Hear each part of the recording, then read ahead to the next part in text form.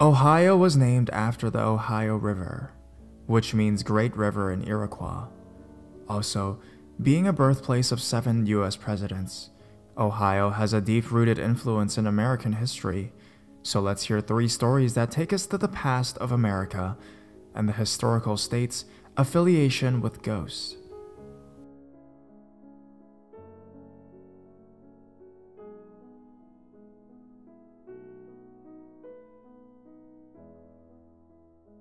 Intelligent Haunt in Ohio.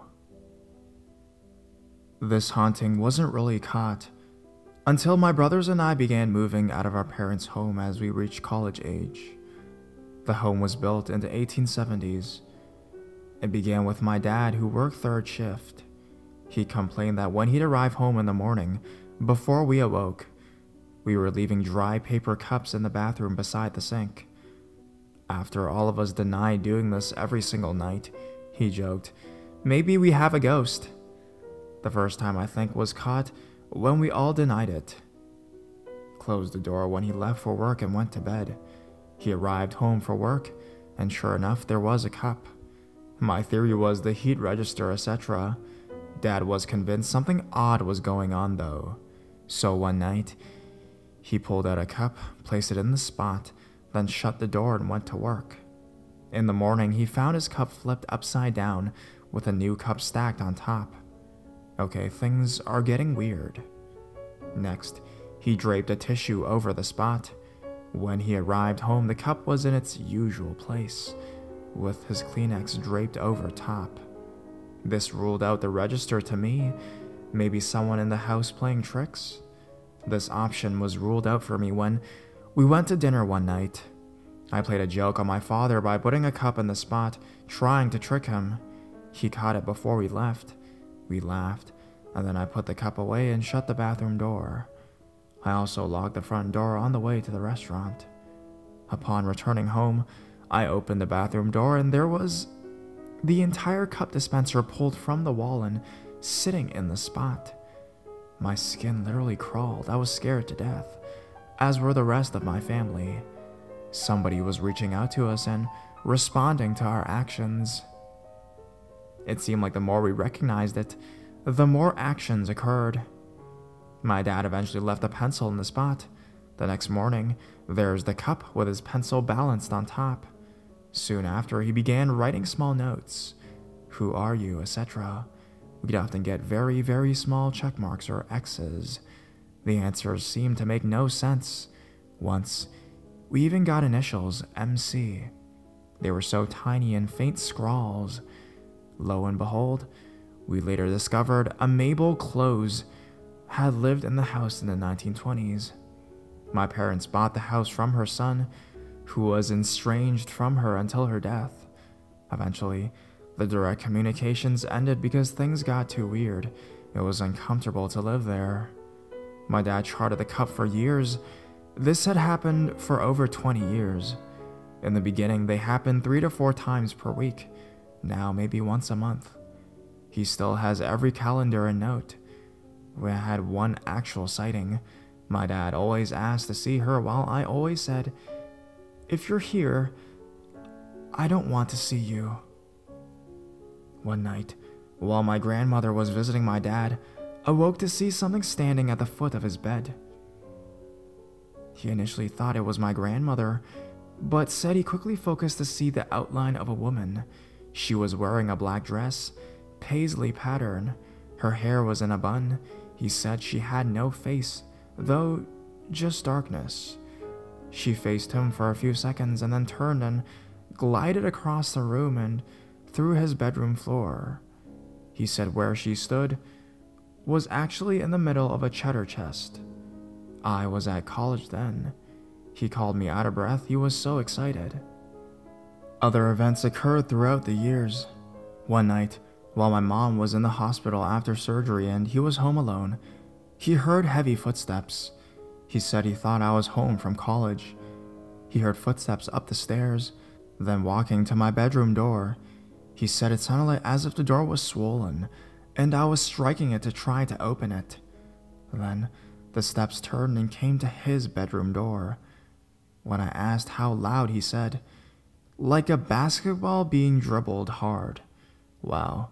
He was scared senseless that night and asked that whatever it was or whoever it was not scare him again. Looking back, I can think of some odd occurrences throughout the years. In the middle of the day, our doorbell would ring with no one there, hearing faint voices, conversations virtually every single night while I tried to sleep. These distant conversations were so frequent that I was almost terrified to go home. In the middle of the night, with my ears pressed to the pillow, I always hear talking. I knew it was English, but I could never decipher a single word. It was odd. My dad later confessed he heard these conversations for years too, but was too afraid to say anything for fear of terrifying me. There were also small things thrown on occasion, balls rolled, items disappearing and reappearing again. Twenty years after we first became aware of Mabel, and I'm still terrified to sleep at my parents' house. Maybe she's fading away, or just misses having the house full of boys. I don't know. But she was about as formidable a ghost could be. She could perform at 3 p.m. as easily at 3 a.m. No problem at all. If I tested her in midday, she would respond almost immediately. Oddly, though, nobody ever caught her in the act. I place an item over her spot, leave the bathroom, and within two minutes she'd respond. Just very, very odd and interesting. I've always wondered about having a real investigation done. I always said she sincerely wanted to communicate something. I began as the ultimate skeptic, but really ruled out every single answer possible. Was someone in the house doing it? Well, the phenomena occurred regardless of who was in the house. My brothers would be gone, it occurred. My parents would be out of town or in the hospital, it occurred. No real explanations, but an intelligent haunting in Ohio.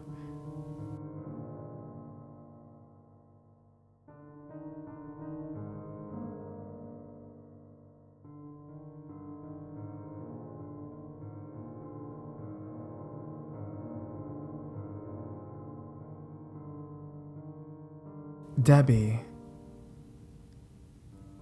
When I was a small child, I had many imaginary friends. One was named Moro, another was named Friday, but they were not weird at all because I knew that they were not real.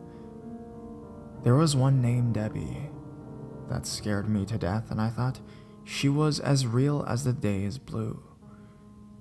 During my younger childhood, we moved around a lot because my parents never really liked to stay in one spot. There was this one house where we stayed where I remember I had the most activity. Well, this spirit named Debbie used to follow me around everywhere and scare the hell out of me.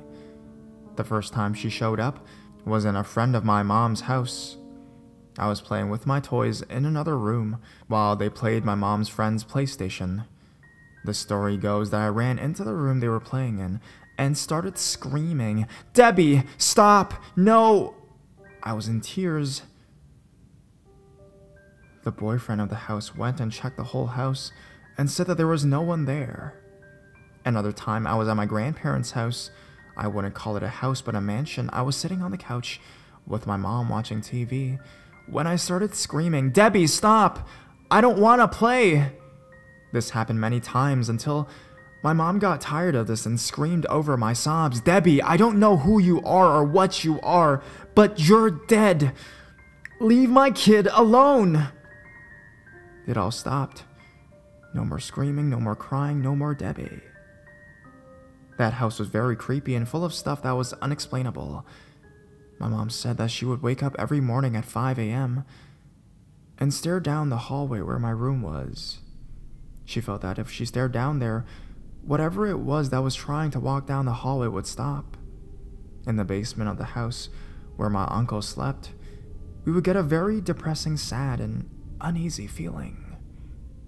We did some later research about the house and found out that the lady who lived there before us had a husband who died of cardiac arrest in the hallway where my mom used to stare down. Turns out he was also very abusive towards his wife so she might have felt the spirit was evil. I need to know if Debbie was really there. More to come.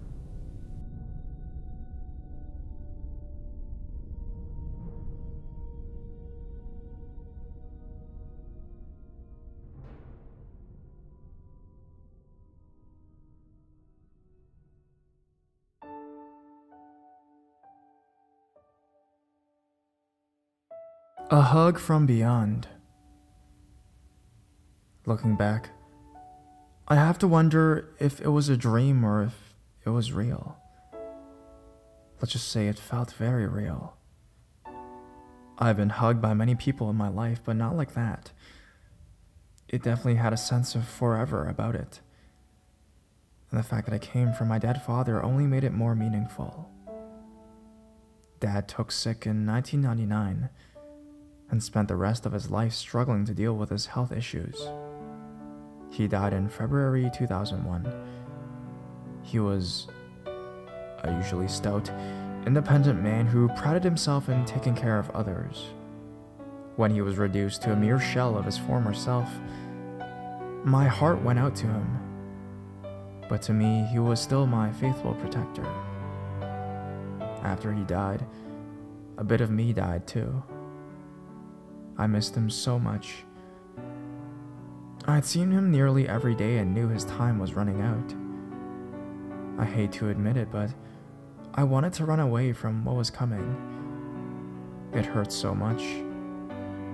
Then, a few weeks after he passed away, I had the most vivid dream I'd ever had. I was sitting at a table with two chairs in a white room with no windows, only only a door. At first, I wondered why I was there. I didn't have a clue where I was. I wanted to leave, but all of a sudden the door opened and my dad walked in, dressed in the clothes he was buried in. Time stood still for a moment. He walked over to the table and sat down. It was wonderful to see him again. He looked like his old self, not frail from his ordeal.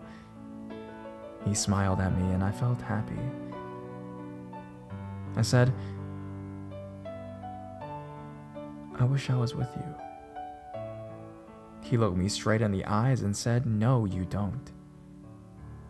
No other words were spoken. He got up from the table. I knew he had to go. I walked around to him and he hugged me so hard I thought my ribs would break. It was the best feeling in the world. I didn't want to let go, and when I did, I was lying in my bed. I looked around the room, but he wasn't there. My body could still feel the squeeze from his arms. I thought I thought about what he meant to me and that I was so glad that he let me know that what I meant to him.